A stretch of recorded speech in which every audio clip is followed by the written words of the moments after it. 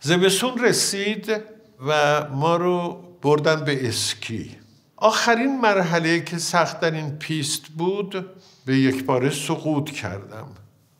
دیگه بعدش نفهمیدم. وقتی که چشم باز کردم پای چپم از مچ پا تا کمر توی گچ بود. وقتی که عمل شدم و دکتر اومد بالا سر من گفت شما به مدت سه سال نمی‌تونی به هیچ وجه هیچ ورزشی بکنی. خدا می‌دونه چه شادی عجیب غریبی به سراغ من اومد. حیف که نمی‌تونستم از خوشحالی فریاد بزنم. چون این تنها دلیلی بود که من می‌تونستم پاریس بمونم جریمه ندم دایی های من جریمه ندن. حالا یه کاری خواهم کرد بالاخره تو پاریس. درسته که پولی ندارم.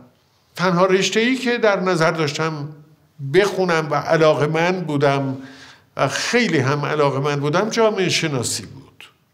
شروع به تحصیل رشته جامعه شناسی کردم. نه از تئاتر خبری بود نه از سینما و نه هنوز دوستی و آشنای چندانی داشتم در پاریس که بخوام افقهای دیگری رو کشف بکنم.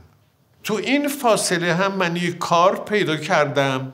دربونی بود در واقع و نگهبان شب بودم. شب از ساعت هشت شب تا هشت صبح باید بیدار میمودم پشت پیشخانی که در ورودی اون خانه دانشجوهای مکزیکی بود. کار من این بود که جلوی قاطی شدن دختر و پسر رو بگیرم. این مهمترین وظیفه بود که نگهبان شب داشت.